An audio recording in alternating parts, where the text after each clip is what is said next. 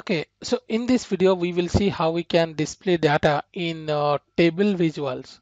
So this is a visual available which is known as table and we will see how we can uh, show the data and then how it is different from comparatively from other visuals.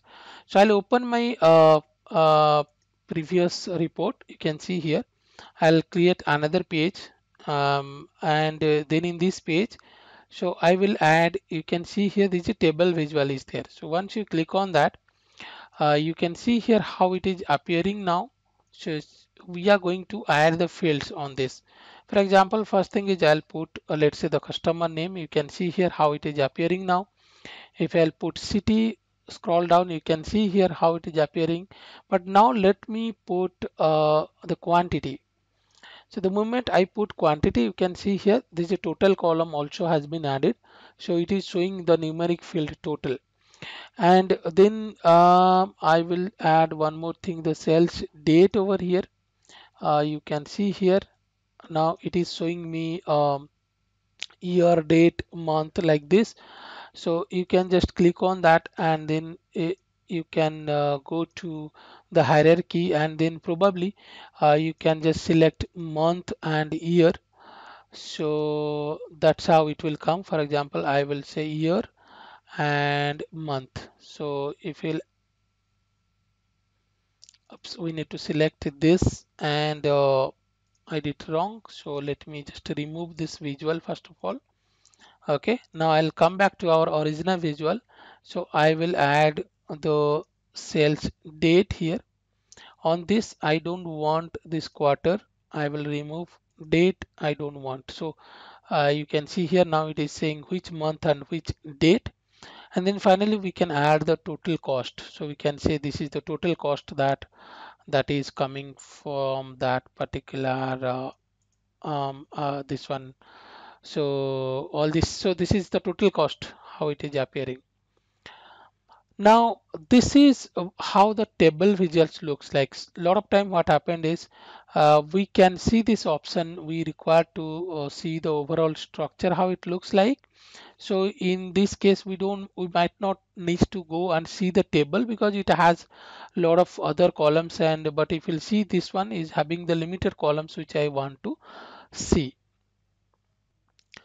so apart from that also we can change the layout of this table. So if I'll go to this format um, by selecting this visual and go to format, then you can see here under styles, this uh, for example, I will say uh, bold uh, header. So you can see here now it is bold header is coming. So you have different options. You can select flash rows. So you can see here how it is appearing so these styles we can uh, uh, we can actually change and uh, you can see here this is how now the uh, table looks like.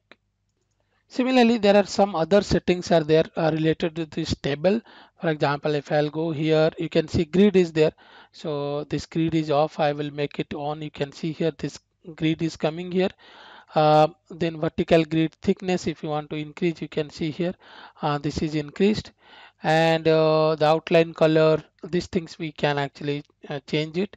Similarly the column header. If you see here now the column header is coming in the uh, white color. The background color is uh, black. So you can change it. So now you can see here the background color got changed.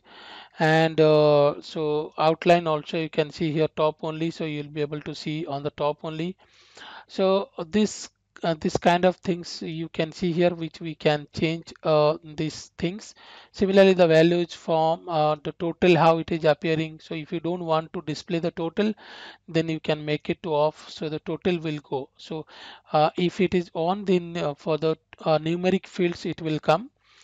And uh, similarly the field formatting if you go here you can see here customer name. If you want to have any other color on that so you can set it so you can have this uh, uh, this options which you can uh, use it here. And similarly there is there is uh, um, uh, um, there is conditional formatting is here where you can set uh, uh, the city let's say you want to have the background color something. So you can actually come here. You, you will you will be able to add it uh, on this one. So that um, so for example let me take one more column which will be a numeric column then we I can show you. So if you'll see here the quantity. So if you'll see here the quantity so you, you can uh, go to the advanced section. Now you can see here quantity and then uh, so if it add uh, you can see here.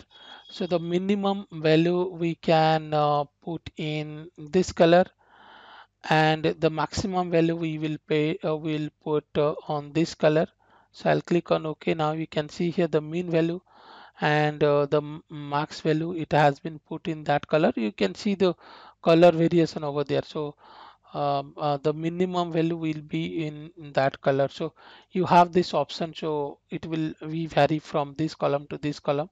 Probably if I'll make it to green or something then you'll be able to notice. So it is actually based on the value so it will gradually ch change the color will change. And then finally you can see here the max color is like this. So you can also make this conditional formatting over here. So this way you we can use the table. And uh, this is some sometimes this is also a good way to uh, display uh, the overall uh, structure. But obviously if you, there is more data more calculation will be there then we can use other visuals